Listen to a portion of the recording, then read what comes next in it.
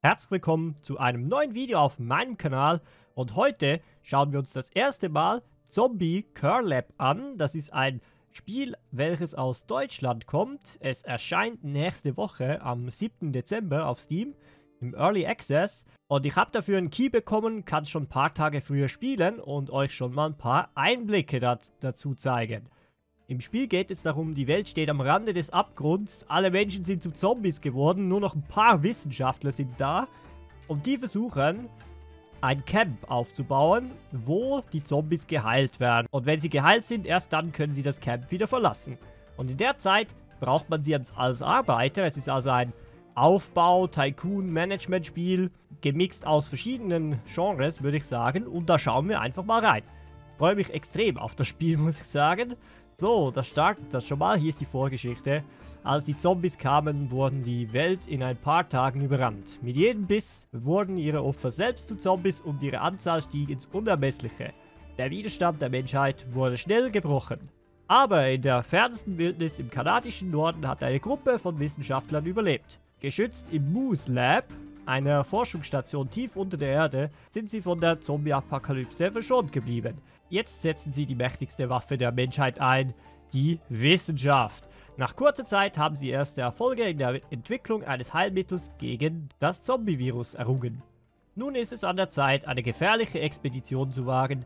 Die Moose Lab Wissenschaftler haben ihre mutigsten Leute versammelt. Eure Mission ist es jetzt, ein Labor aufzubauen, es vor Zombies zu verteidigen, Zombies einzufangen und sie zu heilen. Hilf ihnen zurück zur Menschlichkeit. Ja, das ist da die Story. Und äh, das scheint so ein bisschen Kanada zu sein, wenn ich das so richtig sehe. Aha, da können wir uns drin bewegen. Schwierige, normale, einfache Anfängerexpedition, Tutorial und Sandbox. Ja, ich denke, wir spielen erstmal kurz das Tutorial und schauen uns mal an, wie das Ganze funktioniert. Da sehen wir auch schon einen kurzen Überblick, was das Spiel aktuell bietet, was es in Zukunft bieten soll. Und jetzt sind wir hier beim Tutorial der Grundlagen. Dein Ziel ist es, die Zombies in dieser Region zu heilen. Wir müssen dafür für ein funktionierendes Labor bauen. Äh, dann werden, wenn die Zombies geheilt werden, werden sie zu Mensch-Zombie-Hybriden, Humbis oder Humbis, wie man es auch immer aussprechen möchte. Und es gibt davon drei Stufen und danach ist man wieder ein Mensch. Und er wird dadurch Teil der Arbeitskräfte, wie ich das schon gesagt habe. Und oben links haben wir unsere Aufgaben. Ja, dann wollen wir doch da mal rumschauen. Das ist unsere Drohne, oder wie? Er hat uns hier einen Container geliefert vom Moose Lab. Das sind unsere Wissenschaftler. Okay. Wir können mit der Kamera ein bisschen bewegen. Du brauchst mehr Ressourcen, um weitere Räume und Objekte zu bauen. Die Gesamtmenge der Ressourcen, die du in deinem Lager hast, werden dir unter der Mitte der Bildschirm angezeigt. Zuerst musst du ein Ressourcenlager und einen Transportschuppen bauen. Öffne das Baumenü Produktion, Ressourcenlager, Transportschuppen. Dann können wir es auswählen und dann können wir schauen, was wir da abbauen. So, also ich habe es selbst noch nicht angespielt. Wir spielen es jetzt einfach mal an und testen das, wie das so funktioniert. Hier nehme ich an, ist das Baumenü. Dann haben wir hier Produktion, wir haben Ressourcenlager. Ihr seht, ich kann das, also die Spielwelt, aktuell haben wir so ein kleines Areal, man muss es eben schützen, weil wir gleich angegriffen werden. Aber das wird dann immer größer. So, baue das einfach mal hier in die Ecke. Und den Transportschuppen gleich daneben. Gut. Dann äh, gehe ich mal davon aus, dass es jetzt gleich aufgebaut wird. Genau, 15 Holz kostet das. Da sehen wir es schon nicht mehr und kann jetzt wählen, was sie einsammeln sollen. Wir brauchen einerseits Holz, wir brauchen Gemüse, Glimmerbeeren. Okay, ich glaube, es ist alles angewählt. Ich könnte das abwählen. Ja, genau, ihr seht. Also aktuell suchen sie nach allem. Ist ja auch gut, wir brauchen alles. Beeren brauchen wir nicht mehr. Dann wählen wir die weg. Der hat auch eine Range, wie wir sehen. Und das da ist nicht erreichbar, heißt das, gehe ich mal von aus. Also das Spiel, ohne dass ich es jetzt groß gespielt habe oder so, es ist eine Mischung. Ich würde sagen, ein bisschen Prison Architect steckt da auch drin. Es steckt auch so ein Siedlungsaufbauspiel steckt da drin. Eine kleine Mischung daraus, sage ich mal. Produktionsobjekte brauchen mindestens einen Arbeiter, damit sie funktionieren. Du kannst die Aufgabe deiner Arbeiter bestimmen, indem du entsprechende Symbole im Abschnitt Arbeiterzuweisung anklickst. Ja, genau. Arbeiter, die einem Produktionsobjekt zugewiesen sind, machen diese Aufgaben dann automatisch. Du kannst für jeden Arbeiter auswählen, welche Schicht, Tag, Nacht oder beide sie arbeiten sollen. Wenn wir jetzt hier mal da drauf schauen, haben wir drei Arbeiter zugewiesen und die machen hier alles aktuell. Also so viel wie geht. Ich würde auch die Glimmerbeeren wieder anschalten. Weise Ressourcenlage 1 mehr Arbeiter zu. Mehr zuweisen, das habe ich nicht gelernt. Hier, 1, 2. Entferne Arbeiter, die Transportschuppen 1 zugewiesen sind. Da kann ich wahrscheinlich so drauf gehen. Ändere die Schichten der Arbeiter am Zentrallager 1 zur Tagesschicht. So, Nachtschicht aus. Ressourcenlager 1 nur aufheben, abbauen aus. Um die Bedürfnisse deiner Menschen zu befriedigen, brauchst du eine Küche, in der sie essen können, sowie ein Schlafzimmer mit Betten und einem Sofa. Wir können da auch ein Schlafzimmer mit Betten und Sofa und wir können auch Räume verbinden, verkleinern und aufteilen. Testen wir doch mal aus. Also das ist hier das Zentrallager. Dann schauen wir einfach mal drauf. Hier sieht es aus wie eine Küche. Die machen wir mal hier hinten. Ich habe keine Ahnung, wie groß das sein werden soll. so, und wir sehen auch, die Ressourcen bleiben da stehen. Die müssen jetzt zuerst abgebaut werden, gehe ich von aus. Das hat jetzt dann die höchste Priorität. So. Der hat hier keine Tür platziert, wenn ich das richtig sehe. Dann machen wir hier die Tür rein. Esstisch ist ja riesig. Ah, komm, wir nehmen mal den Tisch. Ich glaube, der Tisch reicht aus für den Moment. Lassen wir das mal aufbauen. Dann brauchen wir noch ein Schlafzimmer. Das stellen wir mal gleich dahinter. Ebenfalls... Oh, hat er nicht gespeichert? Ich muss immer bestätigen. Okay. Dann da auch eine Tür rein. Da haben wir ein Sofa und ein Bett. Oh, Schlafzimmer muss 7 mal 10 sein. Küche hat er gemacht. Ja, was habe ich jetzt hier gemacht? Aber das ist gerade gut. Dann können wir es nämlich testen, wenn wir jetzt hier das Schlafzimmer anbauen. 10 mal 7 wäre so. So wie es aussieht. Wir haben hier ein Zentrallager. Also, ich muss sagen, der Artstyle gefällt mir extrem gut. Und was ihr hier seht, das ist vielleicht ein Prozent von dem, was da alles drin ist. Wenn man mal den Trailer anschaut, sage ich euch ehrlich. Also, da kommt noch so viel mehr. Sieht schon extrem cool aus, wie es da vom Förderband kommt. Also, die holen das ab und die bauen Element um Element, so wie es aussieht. Theoretisch müssten sie jetzt die Wand dann abreißen da. Das werden wir natürlich beobachten. Wir haben da unten auch eine Zeit. Ah ja, das ist Tag-Nacht-Zyklus. Dann kommen dann wahrscheinlich die Zombies, gehe ich mal von aus. Was übrigens auch noch ist, ah, jetzt muss ich wahrscheinlich da Räume verbinden. Ah.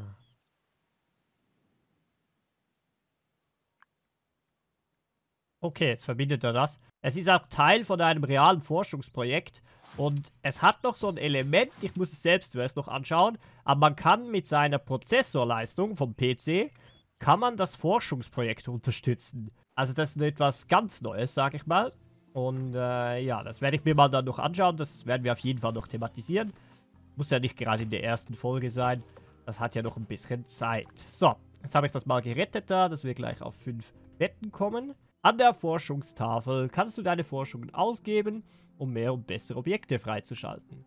Forschung wird von deinen Wissenschaftlern an Forschungstischen erarbeitet.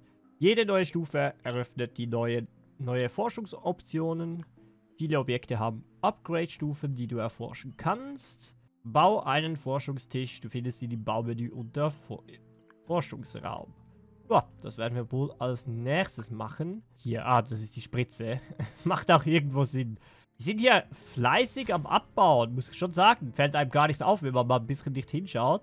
Der muss 10 mal 10 sein. Diesmal achten wir drauf. Der ist recht groß, ehrlich gesagt. 220 Holz. So, das heißt, wir können jetzt mal sagen, dass wir hier... Ich möchte keine Beeren mehr.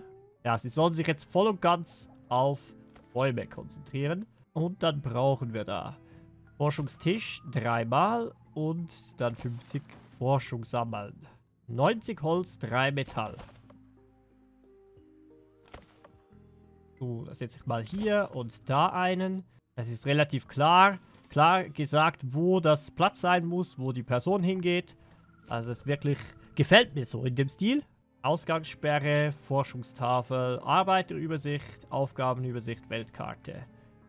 So, wir haben auch hier, das sind die Arbeiter oder Arbeiten. Ah, ich kann, das ist die Weltkarte demnach. Gehen wir hier ins Forschungsmenü. Blasebalg müssen wir dann erforschen. Ja, da habe ich recht lange gesucht, wo denn das ist, weil es gibt hier so viel. Also der Forschungsbaum ist recht groß. Und wir haben hier den Blasebalg 5x4. Eine langsame und einfache Maschine, die Wasser zu Eisbeutern gefriert. Die ist es. Das kostet auch Holz und Stein, wie ihr da seht. Und einen Betreiber braucht es auch. Und danach bekommen wir von der Maschine Eisbeutel. Ja, jetzt lassen wir das mal forschen. Ist das instant? Du verlierst das Spiel, falls alle deine Arbeiter zu Zombies werden. Oder wenn dein Zentrallager zerstört wird. Ein bisschen so, ja, wie hießen die Mobile Games? Also die gibt es ja immer noch, Clash of Clans und, äh, und so weiter und so fort. Die habe ich nie gespielt, aber kommt mir schon ein bisschen so vor. Ein Zaun ist die einfachste Art, dein Labor zu beschützen. Zombies müssen erst den Zaun kaputt schlagen, bevor sie durchkommen. Du brauchst Tore im Zaun, damit deine Arbeiter, die auf die andere Seite kommen können. Zombies greifen Tore eher an als normale Zaunstücke, nutze das zu deinem Vorteil. Da wir die Zombies nicht töten wollen, frieren wir sie einfach ein. Mit Kältewaffen kannst du sie in Eisblöcke frieren. Kältewaffen benutzen Eisbeutel als Munition und brauchen einen Arbeiter. Ein Blasebalg kann Eisbeutel herstellen oder man kann sie in Ruinen finden. Du kannst eine Ausgangssperre verhängen, damit niemand dein Labor verlässt. Der Knopf dafür ist in der unteren rechten Ecke, den haben wir schon gefunden. Arbeiter fliehen dann sofort in die Bereiche, die für Gegner nicht zugänglich sind. Deine Arbeiter machen dann nur die Jobs, für die sie in den sicheren Bereich erfüllen können. Durch Klicken auf die Schaltfläche sichere Bereiche anzeigen, kannst du eine Visualisierung der sicheren und gefährlichen Bereichen erhalten. So, man muss sie wieder aufheben, die Ausgangssperre. Erstmal, wir haben uns ja angeschaut, wo hier die sicheren Bereiche sind. Überall innerhalb des Zauns. Interessanterweise hier nicht. Das frage ich mich ein bisschen, aber ja. Auf jeden Fall sollen wir jetzt zumindest, was die Mauer angeht, mal ein Tor bauen. Das machen wir einfach mal da oben. Dann brauchen wir einen Schneeballwerfer. Nee, das ist falsch. Wir brauchen da erstmal einen Blasebalg, der uns nämlich die Eisbeutel produziert. Und den stellen wir mal hier hinten hin. Und jetzt brauchen wir, das Tor ist da. Ah, jetzt gehen sie nach draußen natürlich. Hat er jetzt auch mehr Reichweite? Weiß ich nicht. Kann sein. So. Und der Schneeballwerfer, der steht innen oder außen?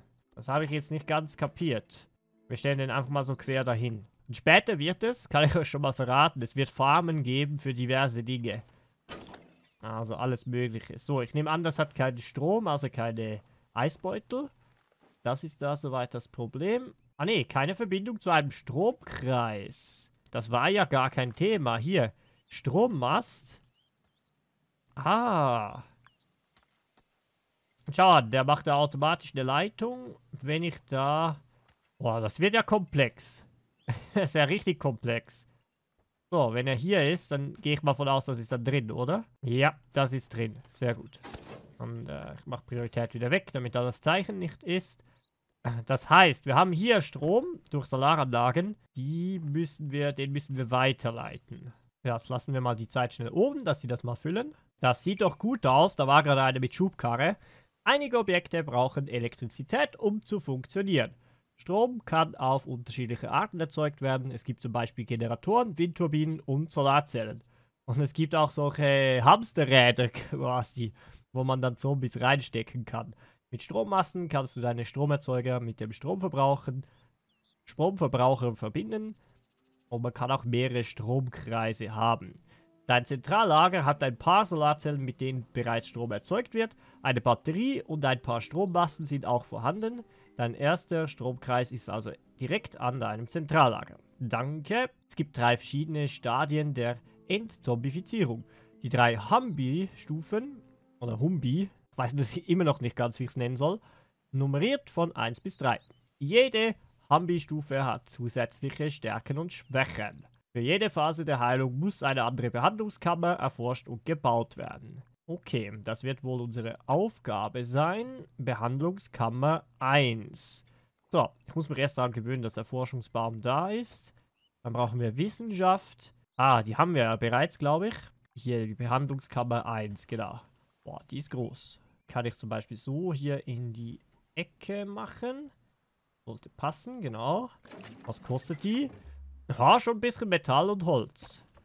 Und wir sind vor allem beim Holz, sind wir immer noch knapp. Das ist unglaublich. Und er braucht auch Strom. Also Strom geht auch durch Gebäude durch, so wie es aussieht. Ich kann auch ins Gebäude rein mit dem Strommasten. Geht auch. Oder hier draußen bleiben. Kommt, glaube ich, nicht drauf an. Um mit einer Behandlung anzufangen, muss erstmal ein Zombie eingefangen werden. Falls deine Kältewaffe einem Zombie genug Schaden zufügt, ist dieser in einen Eisblock eingefroren. Wenn Zombies vollständig eingefroren sind, kann man sie einfach transportieren. Ja, so als Eiskugel. Sieht schon lustig aus. Und das geht tatsächlich durch den Zaun durch, so wie es aussieht. Du kannst einen Zombie zur Behandlung schicken, indem du den eingefrorenen Zombie oder einen Behandlungskammer auswählst. Beide haben entsprechende Optionen in ihrer Infobox. Außerdem kannst du die Behandlungskammer auf automatisch setzen, dadurch werden gefrorene Zombies automatisch behandelt. Okay, jetzt bekommen wir einen Angriff. 19 Zombies kommen. Gefahrenquelle erkannt. Okay, die ersten graben sich hier in den Zaun rein, ja. Oh, oh. Huch. Da haben wir schon Mitarbeiter verloren. Alter. Ähm, wo war das hier? Da, Ausgangssperre. Uff, gerade nochmals Glück gehabt. Ich hätte jetzt gedacht, die Ausgangssperre muss ich jetzt nicht zwingend verwenden, weil die werden das noch von alleine merken, dass sie da nicht draußen rumlaufen sollen. Aber war wohl nicht so, wenn man es ehrlich sagt. Gut, jetzt schießt diese Kanone hier. Und der Zaun also da, wo das Tor ist, ist das ist am angreifbarsten. Und er schießt auch immer auf denselben, solange der hier steht. Melodie Rama. Die wird jetzt getroffen, getroffen. Die muss etwa zehnmal getroffen werden gefühlt. Dass die mal zum Eiswürfel wird. Wir verlangsamen da nicht weiter. Haben wir hier überhaupt so viel Eis drin? Okay, ein Beutel kann mehr, hat mehr als einen Schuss, glaube ich. Oha, jetzt aber. So, und jetzt können wir da Priorität zur Behandlung geben. Es wird schon auf den nächsten geschossen. Gut, und jetzt sehen wir da, wir brauchen 10 mal Glimmerbeeren, 10 Holz. Und das gibt dann einen Humby Level 1. Wir machen da wieder neues Eis. Und die Nacht ist auch bald mal vorbei. Ich glaube, die Nacht ist deutlich kürzer als der Tag, was das angeht. Ja, jetzt gibt es neues Eis. Vielleicht kriegen wir da noch einen zweiten. Also eigentlich als Mitarbeiter wirst du ja selbst merken, dass da keine gute Idee ist, nach draußen zu gehen. Ja, der greift die. Ah ne, der repariert. Der repariert den Zaun. So. Ta Nacht ist vorbei. Und dann hauen sie ab. Weil sie plötzlich klägliche Angst haben. Der da auch? Ah ja. Kommen sie daher oder wie? Das ist ein Tunnel. Ja, sie kommen wohl aus dem Tunnel gehen wieder dahin zurück. Gut, jetzt wir natürlich die Ausgangssperre weg. Wir haben zwei Leute verloren über Nacht. Und jemand müsste jetzt diese Eiswürfel mitnehmen, denke ich mal. Ah, da hinten ist auch noch was. Ja, das ist natürlich dumm gebaut. Wir können das Objekt bewegen, zum Glück. Ich stelle es mal mitten in den Raum. Ist, ist geschickter. Okay, so schnell geht's. Also das ist gut gemacht. Und jetzt reicht der Strom nicht mehr. Nein. Komm, da gehen wir nochmals eins nach draußen. So, kann er nochmals umstellen. Gut. Jetzt haben wir auch Strom. Jetzt hat er sich in Bewegung gesetzt. Da wird dieser Eiswürfel auf der Schubkarre mitgenommen. Und wird dann hier hingebracht, so wie es aussieht. Ja, in die Behandlung. So, der steckt jetzt hier in der Zelle drin. Aha.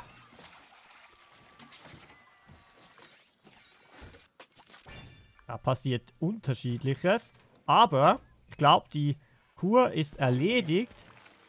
Und wir haben Madi Russo bei uns. Achtung, ein Hambi mit schlechter Stimmung kann wütend werden. Ein wütender Hambi kann eine Menge Schaden an einem Labor verursachen. Stelle sicher, dass die Bedürfnisse deiner Humbis immer erfüllt werden. Ja, Hambi oder Humbi ist ein bisschen blöd. Falls deine Humbis trotzdem wütend werden, beruhige sie sich nach einer Zeit wieder. Mit Hilfe von Wachen kannst du sie auch einfrieren. Eingefrorene Humbis werden zu einer Beruhigungsstation gebracht. Dort können sie sich dann in Ruhe beruhigen. Kümmere dich gut um die Humbis oder sie werden sehr oft wütend werden. Level 1 Humbis brauchen Futterhaufen mit rohem Fleisch und einen Trainingsraum, in dem sie ihre Muskeln trainieren können. Unterschiedliche Humbi-Stufen haben unterschiedliche Bedürfnisse und Fähigkeiten. In der Infobox eines Humbis findest du genauere Informationen. Das heißt, wir müssen erstmal ähm, in die Küche. Ah, das ist dieser Fleischkultivator. Ja, da wird die Küche schon relativ klein, wenn ich da ehrlich bin. Des Weiteren brauchen wir noch einen Trainingsraum. Der wird hier sein. Aber die Base ist irgendwann dann ein bisschen klein, habe ich so das Gefühl. 9 mal 6, dann machen wir 10 mal 6. Eine Tür da vorne rein. Dann hat er das hier gebaut. Dann machen wir da den hier so hin. Und den Futterhaufen. Der ist ja riesig. Küche ist schlichtweg zu klein. So, ich baue das nochmals neu. Ich teste jetzt mal. Jetzt hat das automatisch genommen, die Wand. Und erweitert das automatisch. Ah, und hier hat er um den Strommast herumgebaut.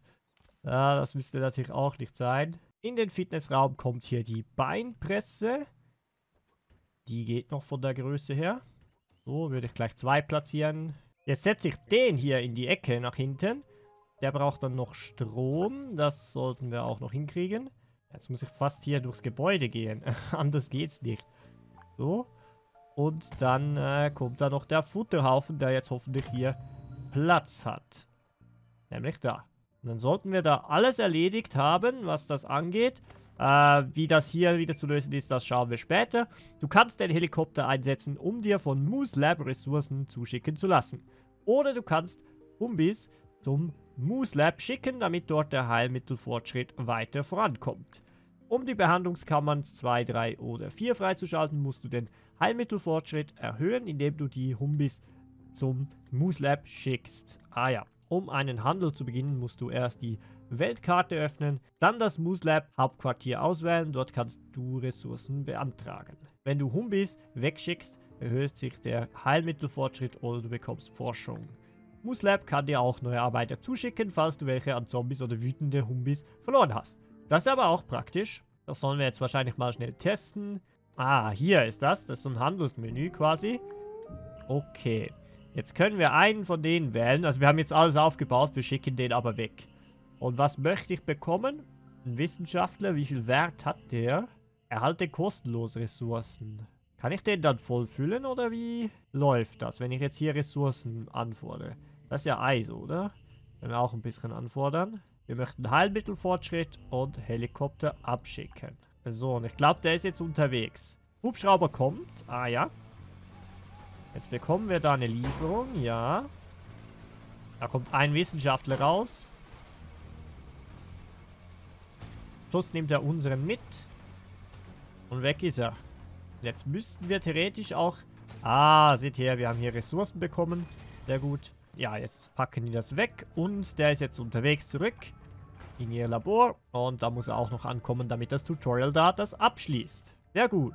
Du hast das Ende des Tutorials erreicht. Du bist nun bereit, das perfekte Labor zu bauen, um die Menschheit von der Zombie-Plage zu retten. Du kannst diese Expedition weiterspielen oder über die Weltkarte eine neue starten. Verstanden. So, jetzt machen wir erstmal Pause, würde ich sagen. Wir schauen mal auf die Weltkarte. Also wir haben ja gesehen, hier ist das Moose Lab. Wir haben gesehen, es gibt hier Expeditionen, die verschiedene Schwierigkeiten haben. Oder es gibt auch Sandbox. Ich hätte aber gesagt, das war's von der ersten Folge. Ich werde es so kompakt wie möglich schneiden. Wir haben also zusammen das Tutorial gespielt. Und was ich machen werde, es wird heute noch eine zweite Folge kommen, wenn es gut geht. Und dann werden wir hier den ersten Start machen im Sandbox, im freien Spiel und werden schauen, ob wir da überleben oder nicht. ich danke euch vielmals fürs Zuschauen. Lasst gerne ein Like da, wenn es euch gefallen hat. Ihr dürft auch gerne den Kanal abonnieren. Wir sind gerade ganz kurz, kurz vor 2100 Abos, wenn wir es nicht schon erreicht haben. Würde mich riesig freuen. Und wir sehen uns wieder in der nächsten Folge, spätestens morgen, aber vielleicht auch gleich in ein paar Minuten auf diesem Kanal. Danke fürs Zuschauen und bis dahin, tschüss!